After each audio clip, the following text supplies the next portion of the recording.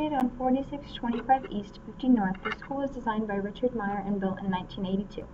At the site's lower end is a three-story classroom wing, its levels are arranged hierarchically by higher by grade.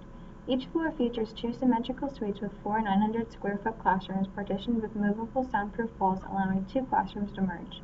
The building is constructed using half-white glazed tile blocks as a base, half-gray aggregate block, and glass.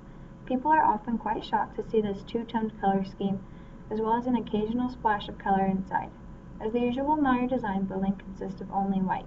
The interior, however, is still nearly all white as Meier felt that the children would provide the color through their creations as well as their presence.